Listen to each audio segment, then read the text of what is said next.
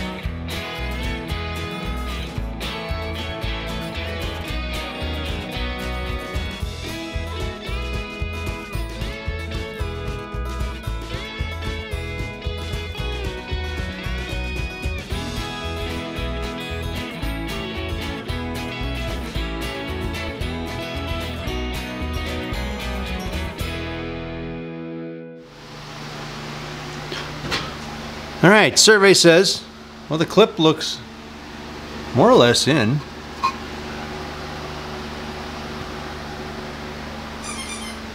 I don't think I made a tranny cross member. Maybe I was going to modify the stock brakes. Maybe, possibly. What else we got going on?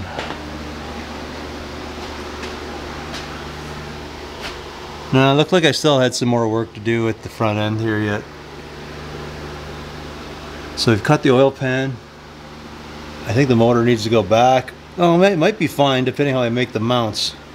So we got a stall in here. Cool. I know it's a Turbo 400. I just don't know what I all got going on. Nothing by the looks of it. In the back. So we probably lowered it as much as I'm lowering the car. So yeah, that's all right. We got blocks with that. I don't think I zapped anything on either. Nope. No pinion angle set, nothing. I'm sure this is a Camaro diff, which was gonna be probably a posi, but I don't have any of that stuff anymore because it was located in the shop. oh man. All right. How's this side? Looks a lot the same. A lot the same. Oh, Man, they got some parts. Look at that. Uh, these are really weird looking, so maybe they're the Jaguar stuff. Looks like front brake lines. I've got a couple bushings. and some brakes. Man, I really wish I was smart and would have put all my parts in the car. I had turbo, intercool piping. I think I had a bigger intercooler. Fuel pump. Ugh. Yeah, the list goes on. Was kind of all sitting in the corner. I had header wrap. I had, oh man, bummer. Ooh, turn that light off. There was so much stuff in there. uh, oh well. Anyways, I think the uh, the game plan going forward here, we're going to make a list of what I think I got to order. Seeing how this Camaro diff, mind you, I might have some stuff in the shed. I usually always keep a lot of Camaro S10 stuff in there. So I probably have wheel cylinders and stuff like that. Definitely one of a posi. I'm guaranteeing it's gonna have like 273 gears, something like that. Which really, right now is not a big deal, just to make it mobile. I have to figure out my turbos, what I want to do there. Now let me put this down here. Um, I was going to use like my injectors everything, but I'm missing all of that stuff now. So I'm going to have to, I don't even have my injector tester. I used to have, I used to have a tester for testing injectors. Uh, you put them in and you can do do your thing, but uh, that's not the case anymore. so I don't know if I'm just going to do this thing all right and we'll get some those Dekas or whatever they are, just 80 pound injectors. I don't think I'm doing much. We're to be not very high boost, I don't think. I'm thinking like 10 to 14 pounds maybe. Kind of probably, maybe even slower, like 7. Depends what this thing will do. If it'll fry tires at like 40 miles an hour, I'll be pretty happy. I don't need to do it any faster than that. Oh, somewhere. Where, oh, where? If it's not in here. Oh, man. Dang it. I had a brand new windshield in the shop. Golly. That sucks. I was trying to think where I put that. And it would have been upstairs on the mezzanine. Man, that sucks. Hmm. Ah, oh, that's such a bummer. Golly. All right, so I guess I'm looking for a windshield again. Dang it. Oh well. Oh well. Okay, so back at this. We're gonna have to adapt their power steering hoses, do a twin turbo, need a different intercooler. I found some intercooling pipe at the swap meet. So that's pretty big though, three inch, which is probably what I should do anyways. Uh, I need an intake. Man, I need like lots. A wiring harness for the car. Some lights. I don't know if I have the signals. I think they're in the back seat. I don't even know if this clip's bolted on. Looks like it's not. Not really. Okay. Well, let's worry about parts. Let's worry about trying to make it run and drive first. Oh man. All right, I'm babbling. I'm gonna start making a list, and I'll let you guys see what I what I come up with here.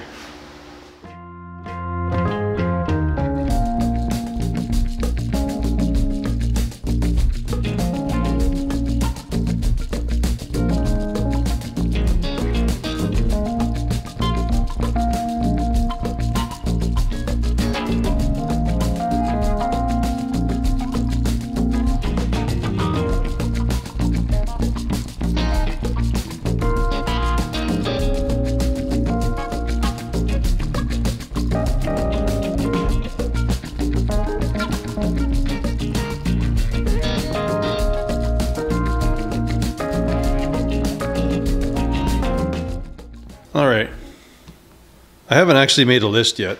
All I have done is pulled the drums. I was checking the backs for the shocks. They're actually feel okay, just don't have any mounts for them. But we're gonna need rear hoses. Well, rear hose. Yeah, that one feels okay too. Emergency brake cables. I have some in the shed. I don't know. Uh, I'm gonna check for wheel cylinders and some stuff there. We definitely have an open diff which tells me it's probably going to have some really crappy gears. Oh, which actually, I bet you if I steal the gears out of this thing, I'm going to bet you money these are going to be 308s or 273s.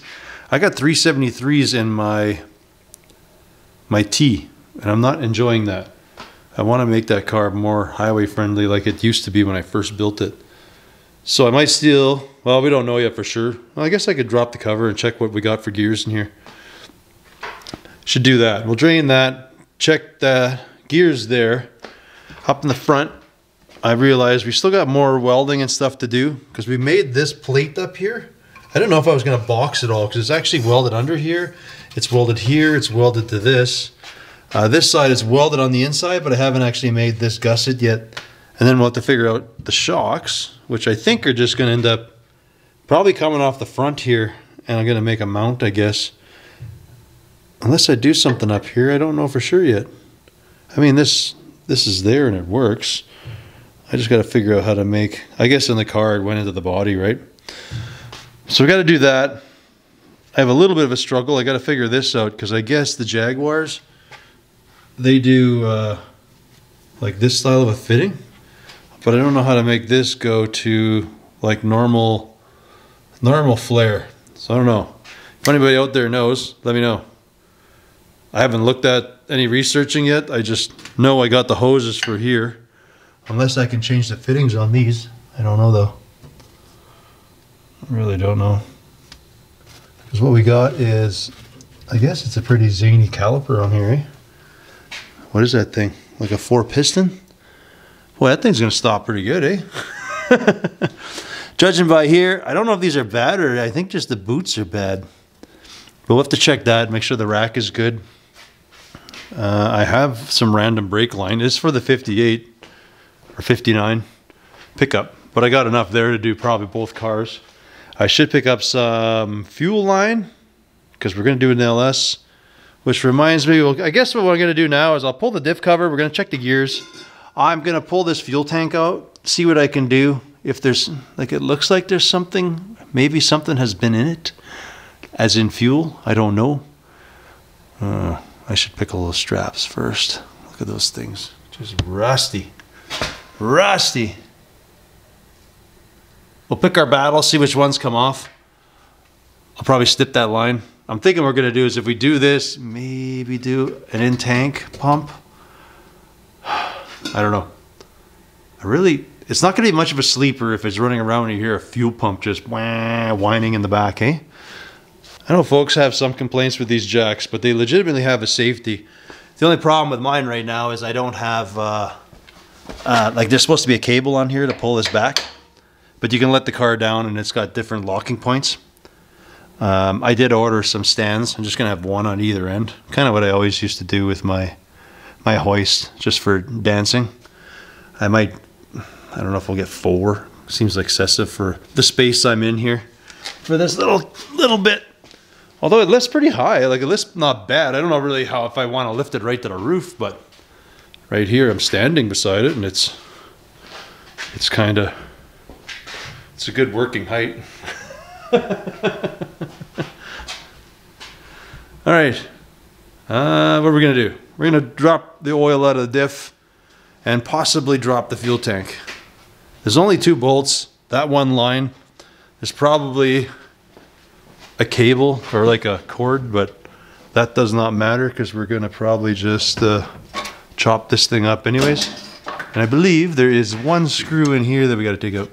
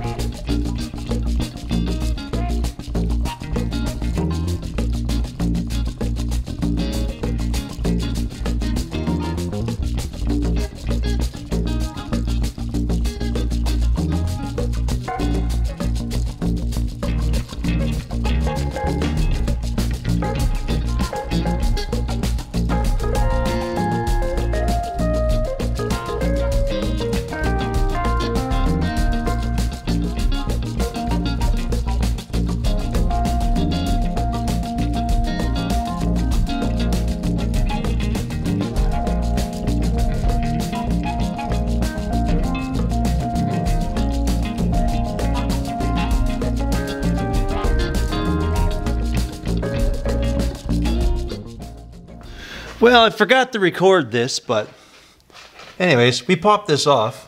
I don't not even worth counting because uh, by the size of that pinion in there, this thing's probably like 273, 308, something like that. Usually on a 373, this gets thicker. There's less teeth on there, more teeth on here. Yeah, I don't know. Probably says, but whatever. These are the gears I'm going to want to put in my T. I think that is the plan kind of made a bit of a mess, but fuel tank came out no problem. I am like really surprised how well everything unbolts. Actually, overall, this car is in really, really nice shape. Like, I don't know if you can see, but I don't have to do inner rockers. I don't have to do body boxes. This car is clean. Fuel tank even. I pulled the sender out. It's free. I haven't tested it yet. But you know, you got the typical green sludge, so I don't know that I'm gonna cut it open. I might be in my best interest, depending what I want to do here for our pump and stuff. like it doesn't smell like anything's gonna burn, that's for sure. But uh, yeah, not sure where I'm going with this yet. I know I'm gonna clean the tank and then we'll figure it out from there. Whether we're gonna open it up, put a pump in. We got to build a sump though. I've had a lot of idiot luck not doing stuff like that and that usually bites me in the arse so we'll have to build a little bit of a sump in the back so the fuel kind of pools. Especially if you're turboing something it's um, in someone's best interest to do that. Anywho I'm gonna put that cover back on because I'm not touching that right now. I want it to still be mobile so if I pull that the guts out this thing's gonna be DOA uh, yeah, I don't know. I have done everything but make my list tonight, but well, tomorrow's another day. Boy, that would have been a nice blue on this car, eh? Look at that. Golly, eh? Didn't notice that before. All right. Well, color night. You can always do more tomorrow. Alrighty. Well, I picked up some steel.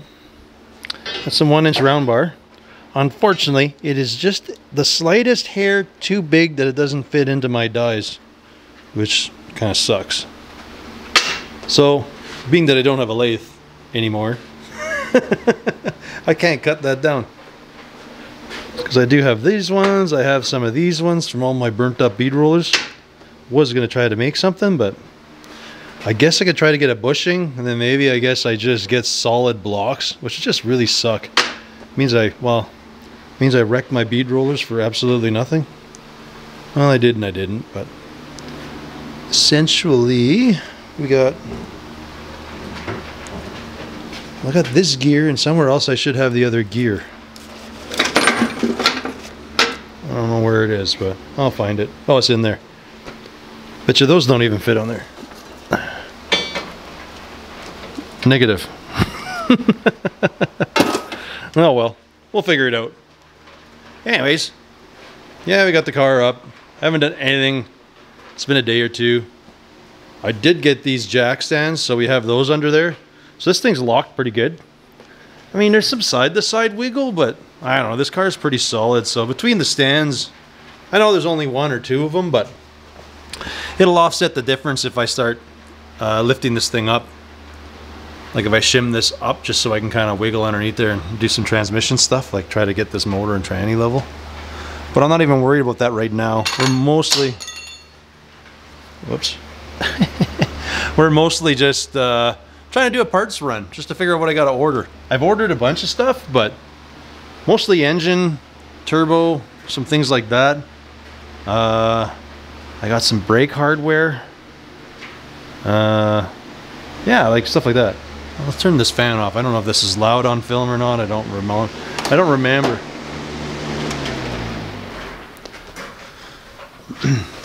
Maybe Pablo's really loud. So I haven't made too much of a list for the car itself yet. I'm not focused too much on the interior of it. I'm going to. Uh, I mean, I need a. I need. Uh, I need a bunch of stuff. Alrighty, folks. I know a lot of you folks overthink I guess you do. I don't know if you overthink. Everybody kind of overthinks things.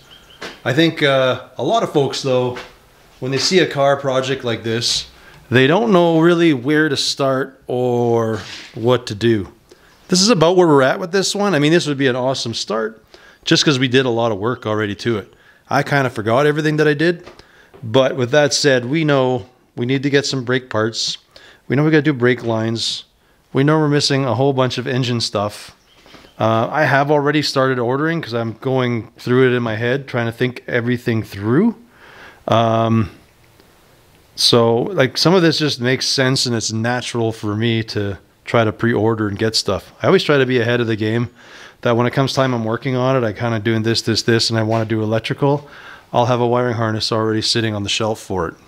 It just makes it easier for me that I don't have to stop my whole project and wait for things.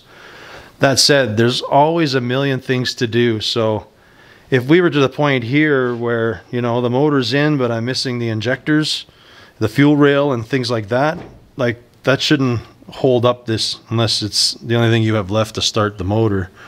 I have, I can still hook up a throttle cable. You know, I can start plumbing the radiator. Like I can just keep moving on. Some people will, uh, I notice they hit a wall, like they'll see one obstacle and a lot of folks can't see past that obstacle. I, it happens. The easiest way to do that is just make a list. That's the way I see.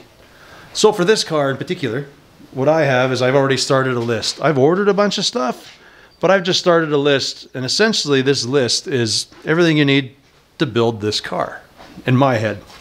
Now things change and I usually add, take things off of there.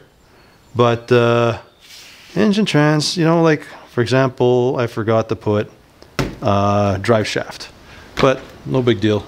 I don't feel like writing it in because it'll it'll just come when the time comes. So I won't even worry about it.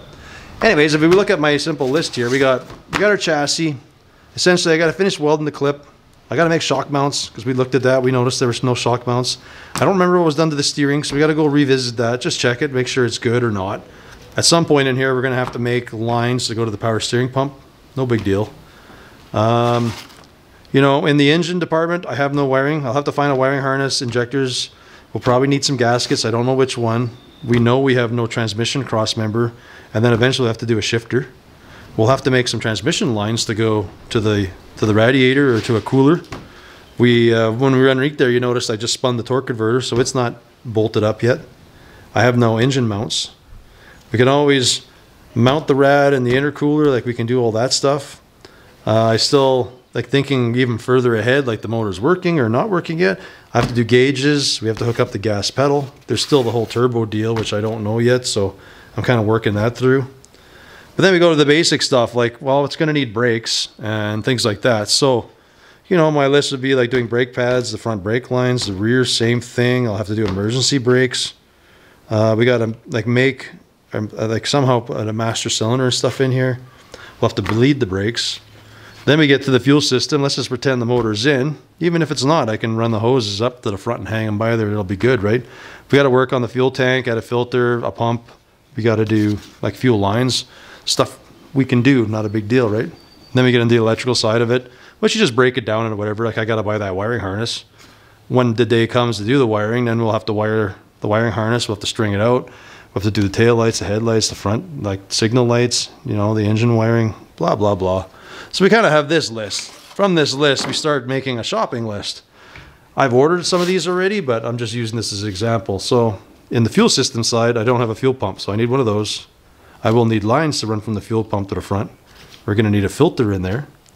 We'll need whatever fittings that we'll need, like stuff like that. For my brakes, I pretty much have everything I need on the shelf. So that part should be good, other than I need those adapters to go to that 37 degree flare. That is the Jaguar, I believe. In the wiring department, uh, like I'm going to need a wiring harness. We'll need some relays. I'll need some light plugs because we don't know if the sockets are good. So I'll just order some universal ones that I can put in there. Then I get over to random things, right? Because I don't have the injectors for my motor or fuel rails or a throttle cable. I don't know what else I'm missing, but that's it's like a starting point. Like some of this I can pre-think and just start ordering parts. And then whatever, if I fail this, you know, if I get my brake parts, but I realize I'm missing two or three things, but it's still early in the night and I want to work, I'll go to the engine and see what I can do there or or I'll make that shock mount. You know, I don't know. At least with the list, you have a manageable stuff in my eyes, and when it's said and done, you if you can look at it, you look at stuff, find something easy, and you can scratch it off, and you'll feel pretty good about yourself at the end of the night.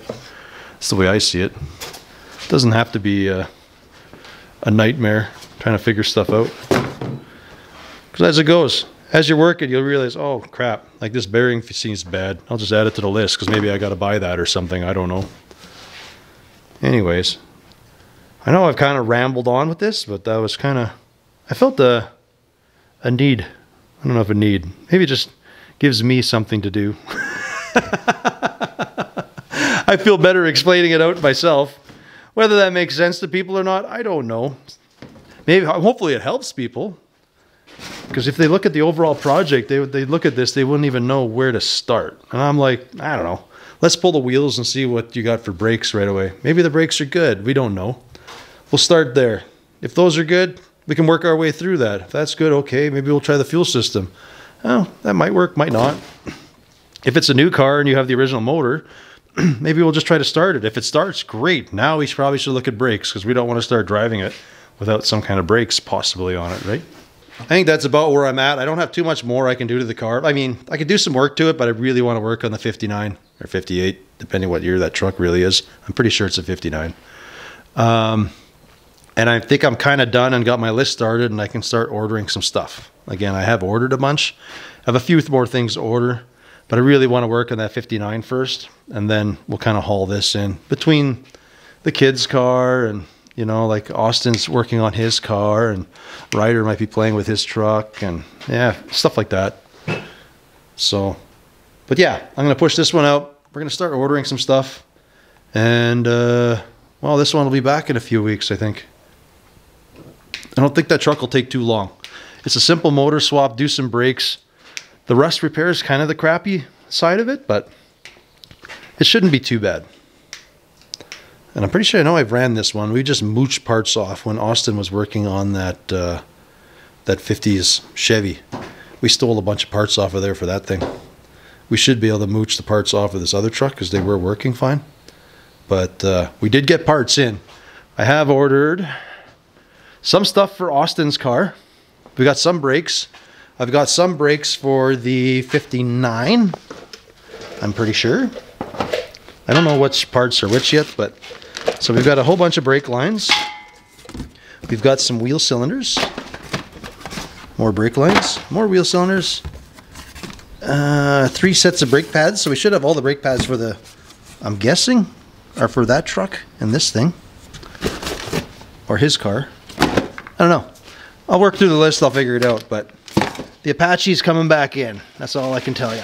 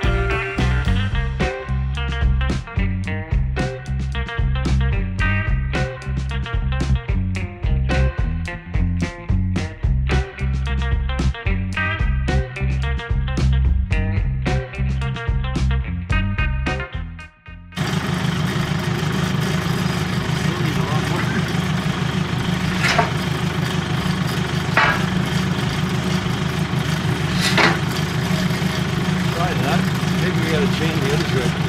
Yeah. It's kind of broken anyway, so I don't think it's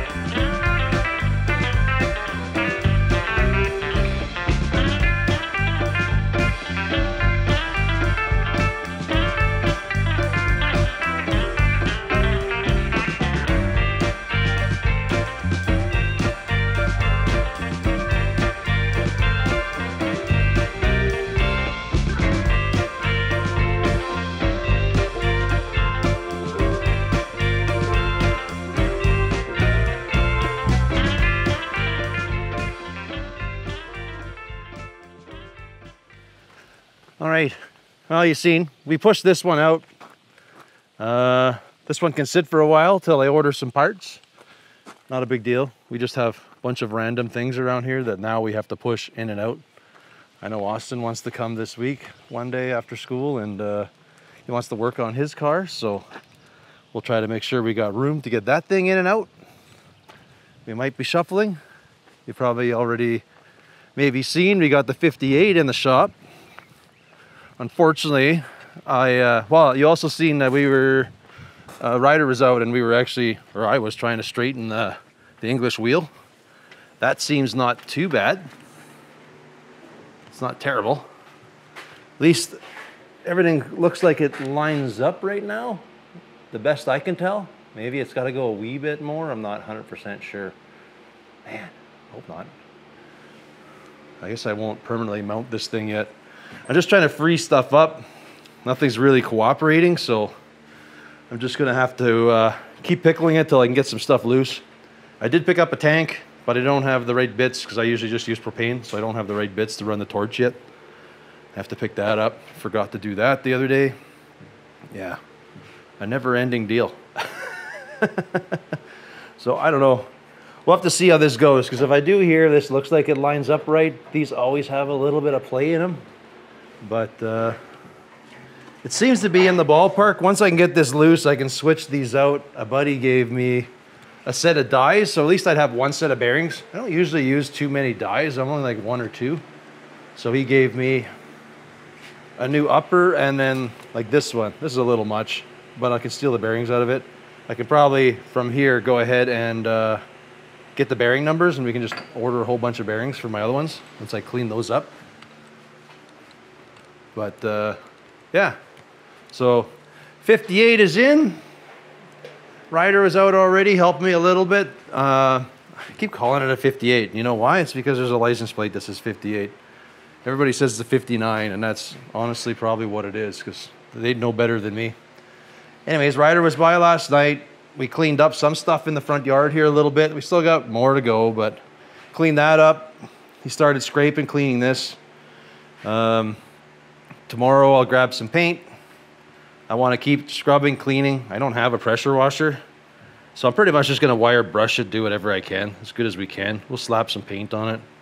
I don't really know that I care. Like the original motor didn't even look like it had much of anything on it. Well, I guess this isn't original, but I don't know. I'd like to doll it up a little bit. Man, it's just too much work to bring and wash to take it out. Ah, we'll see what we can do. I'll buy some paint. Maybe I can doll it up. Maybe not. I don't know. Let's not think too much about it.